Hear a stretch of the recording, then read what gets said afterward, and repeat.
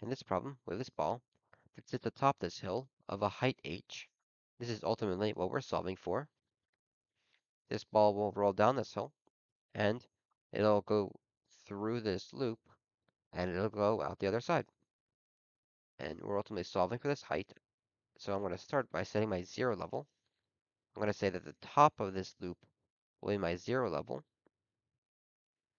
So this height will actually be whatever the distance he is from the top of this loop to the ball. I'll call this d. The height that I'm solving for will be d plus the height of this loop, which will be 2r.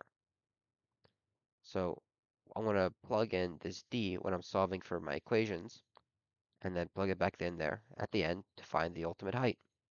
So I'll start with the energy equation. I'm assuming that there's not going to be any non-conservative forces.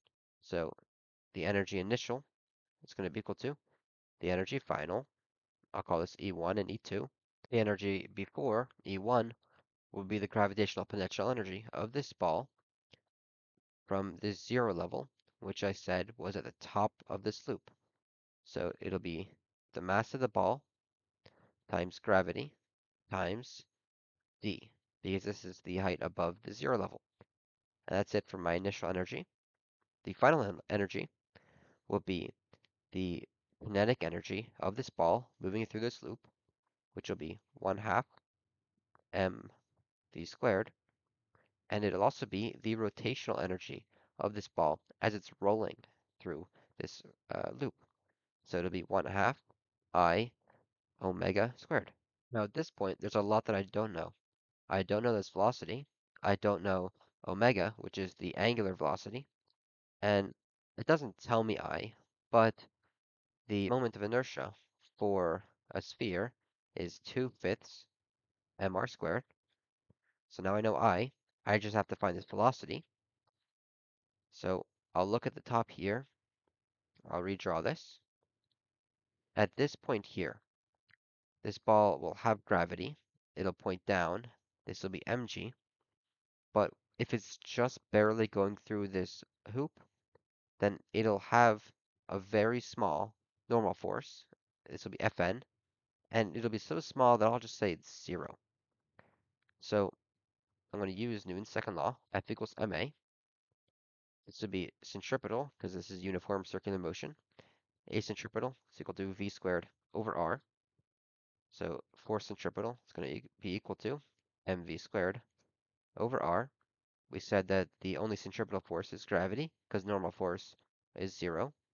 So it'll be mg is equal to mv squared over r.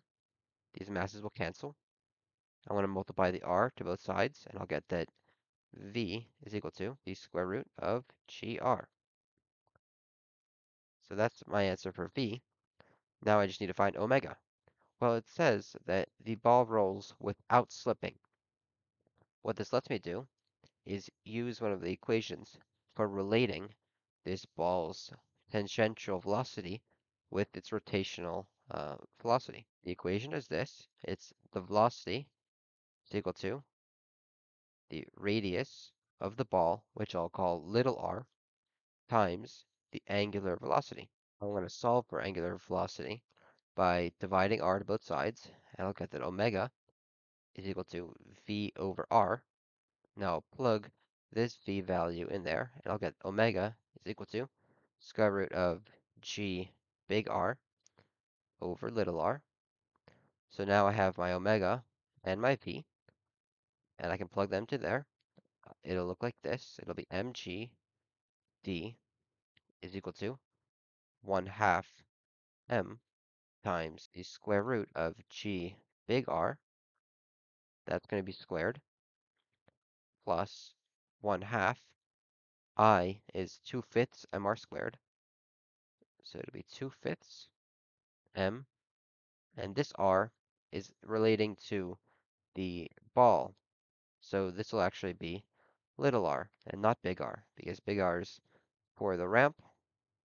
Little r will be for the radius of the ball. So this will be m little r squared. And omega is that term there.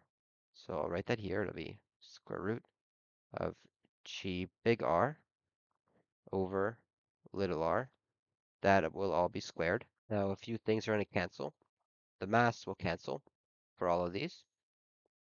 And this square is going to cancel with this square root. This square root is going to cancel with that square.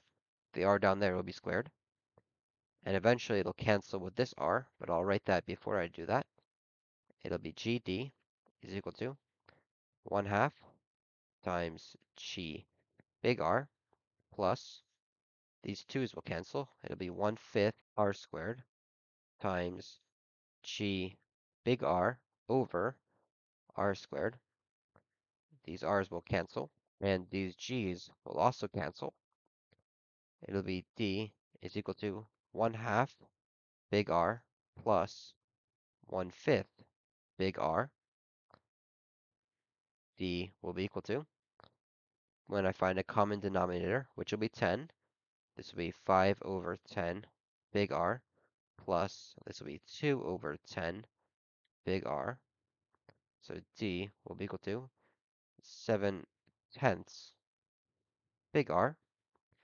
Since we said at the beginning that the height, which is ultimately what we're looking for, is this d plus 2r, h will be equal to this d, which is 7 tenths r, plus 2r.